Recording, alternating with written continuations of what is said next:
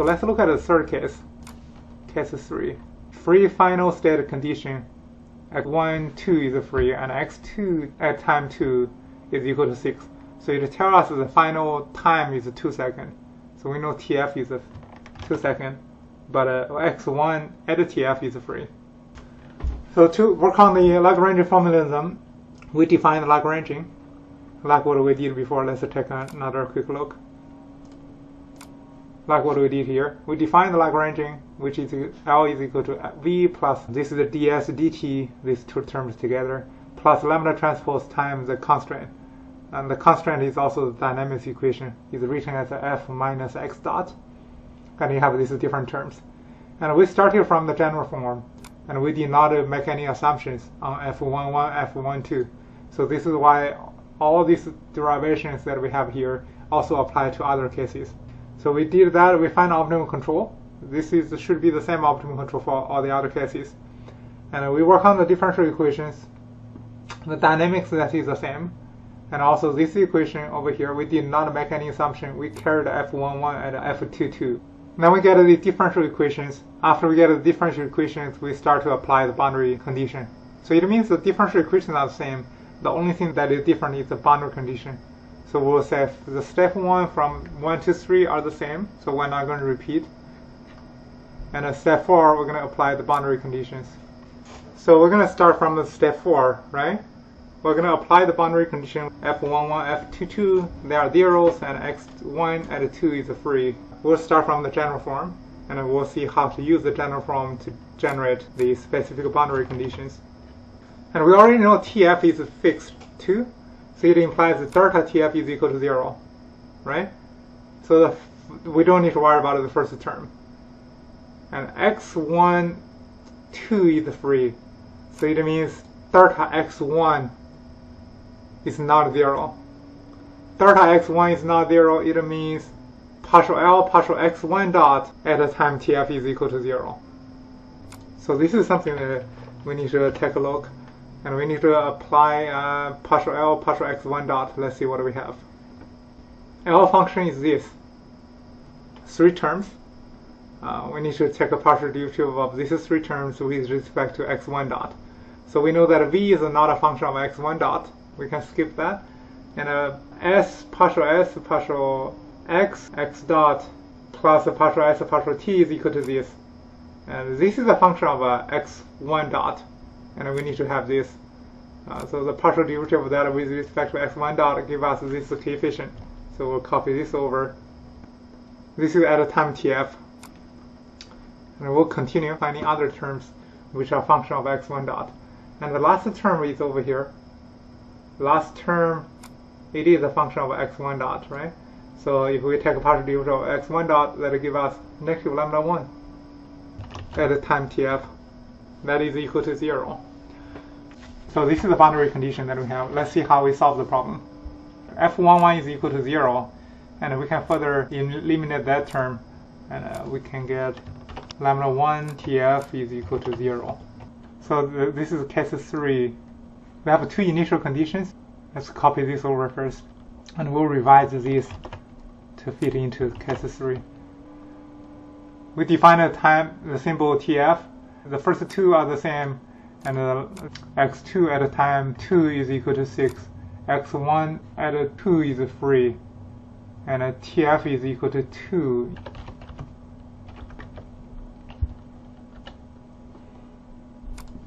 And this one is free, and we're going to replace this equation by another uh, condition. The other condition is, what we find? Lambda 1 at tf is equal to 0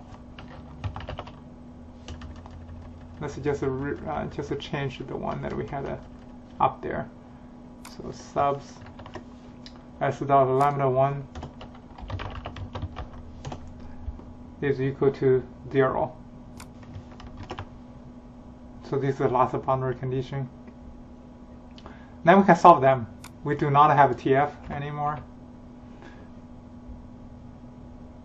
Four, four equations with four unknowns we find C1, C2, C3, and we plot 20 points, and we define time t. Okay, everything looks fine. So let's see what we get. Let's verify. So in this problem, we want to control from 1, 2 to eventually something free. I don't care about where it ends, um, but I want to x2 at a time 2 is equal to 6. So we can see that it got to 6. So perfect. And this is free. It can be anywhere. And uh, also it reached the final state at a time of 2 seconds, which is also good. So this is the result. Let's copy the result. Copy figure and then put it into here. And this is the control. So let's look at the Hamilton formalism, how we can solve this problem. The first few steps are the same, uh, only the boundary conditions are different.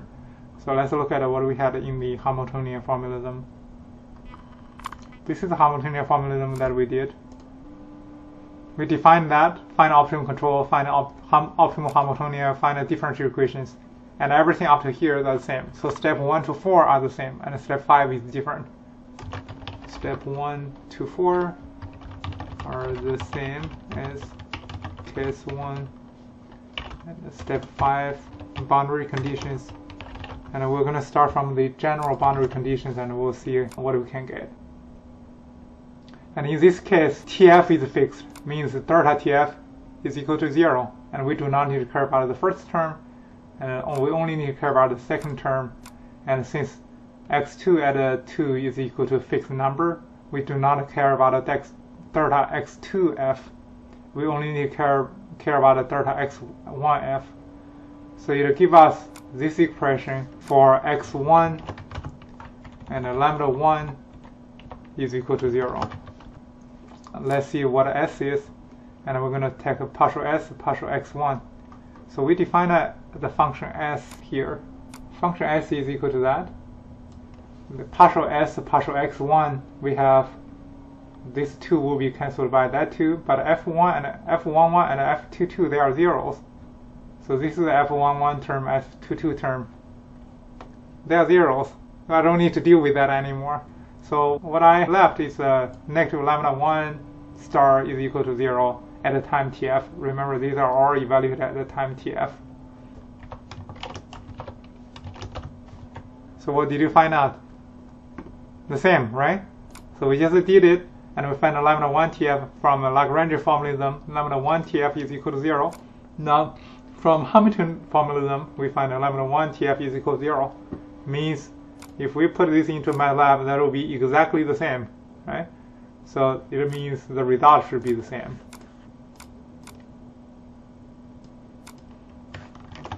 So let's look at the last case.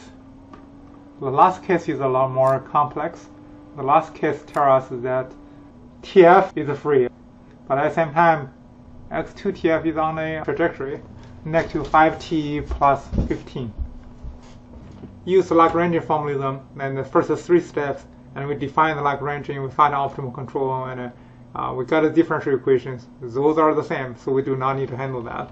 So we will say step 1, 2, 3 are the same and we work on step 4 and step 4 are for the boundary conditions and this is the general form for the boundary conditions. So x1 tf is equal to a constant number. It means delta x1 tf is equal to 0 I do not need to look at um, this for x1 but x2 tf is on the line. Delta xf will be equal to theta dot tf delta tf because delta because this lies on this. And uh, delta xf is equal to theta dot times delta tf. So when we plug that value in, we have a tf here, we also get another tf there. So it implies that we get two tf terms. Both of them are coefficient of uh, delta tf. So in that case, we need to uh, rewrite the equation so that it can include both of two terms we will have this term plus this times theta dot. This will be partial x2 times theta dot tf. Now we have these two terms that are served as a coefficient for delta tf. And uh, the other term that we have is delta x1 f. delta x1f is equal to 0, so we do not need to worry about a partial L partial x1 dot. This is why in this expression we do not have a partial L partial x1 dot. We only have partial x2 dot. So since we only have one term, we do not need a transpose anymore. So let's see what is the uh, boundary condition is. Let's see if we have some result that we already got from previously. TF is free. Uh, if TF is free, we did one case, which is the second case. Second case, yeah, we did it here. So this is the first term at a TF. So let's copy this over. Plus the partial L partial X2 dot times the theta dot TF. Theta dot TF is uh, very straightforward, and this time derivative of this will be negative 5. And negative 5 at a, at a time TF is also negative 5. So that is a negative 5 times that. Let's see partial L partial X2. What is, it, what is that? The L has these three terms. The first term is uh, not a function of X2 dot, right? We're trying to find a partial L partial X2 dot not a function of x2 dot. The second term, it is a function of x2 dot, and the coefficient is f22 times that. We got a one term. And the last term, the coefficient for x2 dot is equal to negative lambda 2. And these are all evaluated at a time tf. So that is tf, tf, and this is this is also tf, and lambda 2 is also at a tf. And this expression is equal to 0. So let's let's summarize the boundary conditions. So we have the initial condition, which are the same. So let's just write it directly on the code. Let's copy uh, this case because TF is free, right? Copy this case 2 and we'll put it in case 4. So we put it into case 4. T0 is equal to 0 and we define a symbol of uh, TF and the equations, these are the boundary conditions are different. So the first two boundary conditions are the same. And the next boundary condition is x1 tf is equal to 4. x1 tf is equal to 4. It's also the same. The last boundary condition is x2 tf is unmet. So sub to x2 tf is equal to negative 5 tf plus 15. And the, the next boundary condition is this it's a pretty long form. Let's see uh, if we have everything. It's 0.5 x1 tf square plus 2 times x2 square plus 4 times u square plus lambda 1 times x2 plus lambda 2 times negative x1 plus 3u and uh, then the next one is minus a minus 5 after the whole thing minus 5 times. And f22 in this case is 5 times 5 times x2 we need subs. S dot x2 at a tf minus 2 minus lambda 2 at a tf is equal to 0 right so make sure that we didn't make any typos. So negative 5, f22 is equal to 5. Uh, we do not have f11, right? There's no f11. Okay. I think we got everything. Oh, we had a typo looks like. Maybe it doesn't like me how I broke the line. Let's see, it will still complain. Um, so we got the answer. So the states, let's verify. So it will start from 1, 2 to something 4. And uh, this point will be on the line. How about we put the line on there and let's see if we get the if the result is correct. If you want to plot another one, you can hold on and plot something else. And we'll plot another line. And this line is t and uh, the other function is a negative 5t plus 15. So we can plot this by using a dashed line. So you can either run the whole thing or just run this little piece, that's fine. Uh, perfect, you found the line, right? So this is how we uh, solved the problem. Let's copy the results. So this is the states, and let's also copy the control.